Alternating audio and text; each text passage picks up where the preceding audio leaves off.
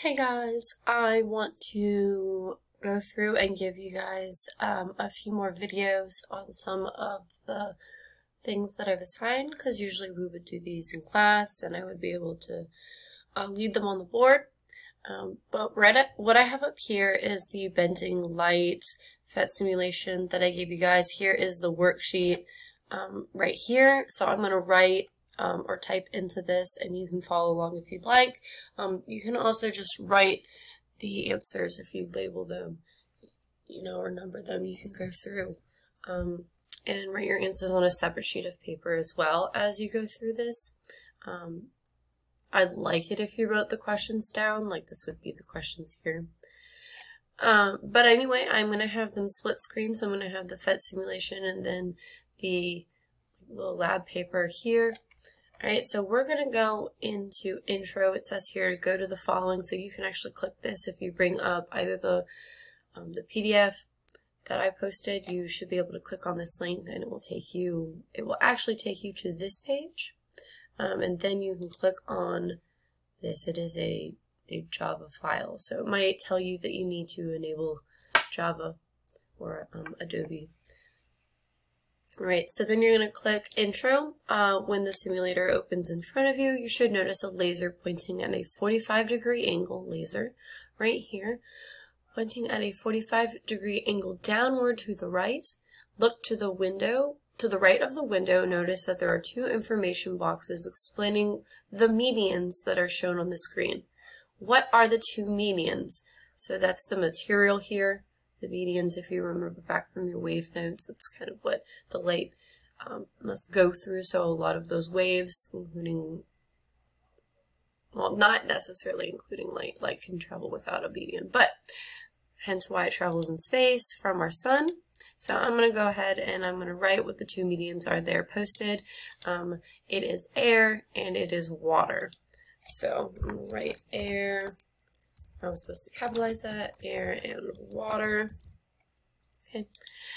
Um, then you're going to go ahead and you're going to, um, actually, I want to put my answers in red if you guys don't mind. That way it's easier to see. Um, if you are doing some of these assignments and you are utilizing them um, on an Adobe file or you're writing them on a Word doc, if you guys could put your answers in red, um, there we go. Um, that helps me see it so that way I can differentiate between your answers and what the question is. Alright, so click on the red button. That's this red button on the laser. What two things does the light do as it hits the surface of the water? So when it hits the surface of the water, we've got this little bit of light that goes up here, and we've got this little bit, um, or we got more of this light that goes through the water. But if you look, it's not quite in a straight line. There is a little bit of a bend. It's why if you were to have a glass of water um, and you put it on the desk in front of you and you dropped your pencil in there, this is the reason, what we're going to learn about today is the reason why that pencil isn't straight as you look through the side of the, the glass. Right, so what two things does the light do as it hits the surface? So for you guys, you don't need to know the fancy terminology, although they do listed right there and it is on the previous screen. Um, so you guys can use um, any type of language that you know. Okay, so um, I know you guys might said it looks like it it bounces against the water, or you guys will probably use the term it reflects on the water. So the first thing is that it does reflect against the water. And two, it's the other thing it does is that it does kind of create this little bend. So this is definitely an important thing to notice that it does, right? Bend the light bends, you can say it doesn't enter the water straight, so the light bends as it enters the water. And that's appropriate, all right? So that's that little bend. I know it's kind of really indescript, but it is there. Um, so on the bottom side of the simulation window, window, okay, you should notice two tools available for you. Uh, select the bottom tool. This is going to be a magnifying glass and move it into the general water uh, area. Okay, so take this lens, is what we're talking about, and drag it directly over the light coming from the laser before. Okay, so this is the light coming before it hits the water. Okay, notice that you can measure the intensity of the light when the lens is placed over the beam. Fill in the table below. So right here, I'm going to say the beam of light before it hits it. So our intensity here is 100, that's a 1,000, 100%. Okay. So that's what they're asking for in this box. So it's 5 and 6. Okay. I'm sorry, it's actually 5 through 7. My box moved. All right. Uh, then we're going to move the lens out of the way and select the protractor from uh, the toolbox. Okay, place the protractor um, over the vertical dotted line so that the dotted line runs straight through zero. Confirm that the laser is coming in. So what we're going to do is we're going to confirm that this line right here is coming from the laser at a 45 degree angle. Okay. Let's see if we want to. Trying to get that straight.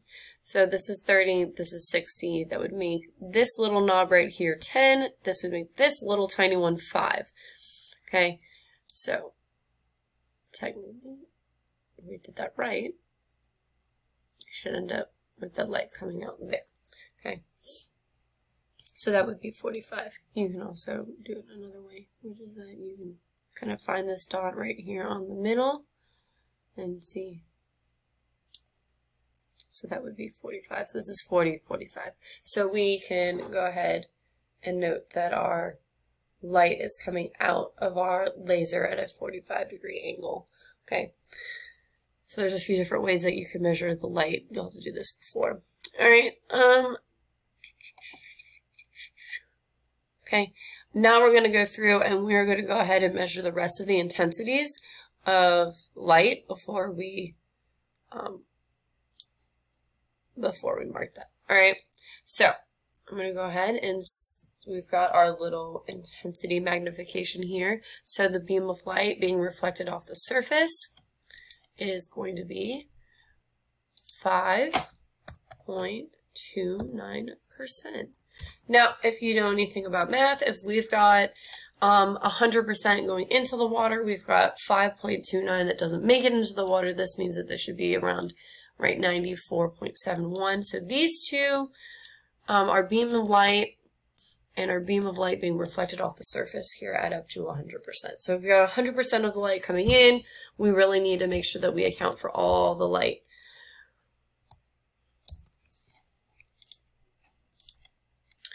All right, uh, so now we're going to move our laser pointer so that we can change the degree of the incoming angle. So adjust the laser pointer so that it is only 10 degrees to the left of the zero mark or the dotted line. So this is right here is our dotted line.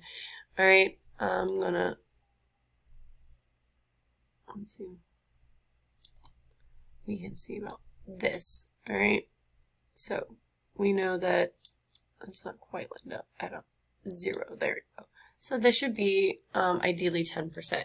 So we know that the beam of light intensity before we hit the water, okay, so this is our laser pointed at a 10 degree angle from vertical, all right. Right, we've got 100% here, right? Then we've got a beam of light in the water. Look, there's a slight bend, but it's pretty straight there. Okay, we've got, and, and look at that, 97. So we don't have that much that's being reflected. Sorry, I keep trying to click and I didn't realize it clicks away. All right, so 97.88%. Oh my goodness. There we go. All right, and of course, what's left over when our light... Ah, there's a baby cake that's away, if you can hear her. My apologies. I'm going to have to take a quick break when I hit the 15 minute mark and then do the other side. Um, you guys will have to, to be able to do. Um, so you guys get to pick on this side your different materials that you want to do. All right. All right. Um, so then we're going to go ahead to the 80% and we're going to see what that looks like. Um, once the laser pointer is in this location, move the protractor tool back and then we'll fix, oh, I was supposed to move the protractor tool. All right, so if that's 90 right here, we need one big line right here, and that's going to give us, ooh, look how, look how, look, you see the light as the light, as our angle increases, look at that, the amount of reflection, or refraction I should say, is increased. Alright, so the light coming in, once again, we've established that it's 100% of the intensity, okay? Alright, then we're going to go ahead and we're going to go and measure the light that is in the water. So our beam of light in the water right here, okay, is 58%. Alright, and the beam of light that is being reflected, or refraction, technically, this is refraction, this is reflection, is going to be 42.0%. All right, so based on what you observed, which we can go ahead and just see that again, okay? Based on what you observed, and you can see that the, the shading on our red laser pen, pen kind of changes. Describe the relationship between the angle of the incoming, so the direction that this is coming out of our laser, and the percentage of the light that is transmitted through the water versus the percentage that is reflected here. So this line is the reflected, this one is what is in our water. Okay, so um, what do you think? I'm going to give a minute and get my pen going. So what do you think would be the relationship between that? Okay, so I would start it with something like as the angle of incoming light increased, the percentage of light that was reflected Whoa. Okay, hold on, this spelling this totally wrong. Was reflected. Uh, the percentage of light that was reflected increased. Um, now the... Alright, so in here we can address two things at once, the relationship. So as the percentage of the light that is reflected increase, that means that the percentage of light that is transmitted through the water decreases. Of the light that is transmitted through the water decreased as a result. Okay, so relationship, we're talking about two different things. Most relationships are, you know, between two people. Okay, you can't have a one-sided relationship. I mean, you can, but it's not really healthy. So this is going to be our healthy, you know, two-point relationship here. Um, so describe how angle of incoming light compares to the angle of light reflecting off the surface of, a, of water.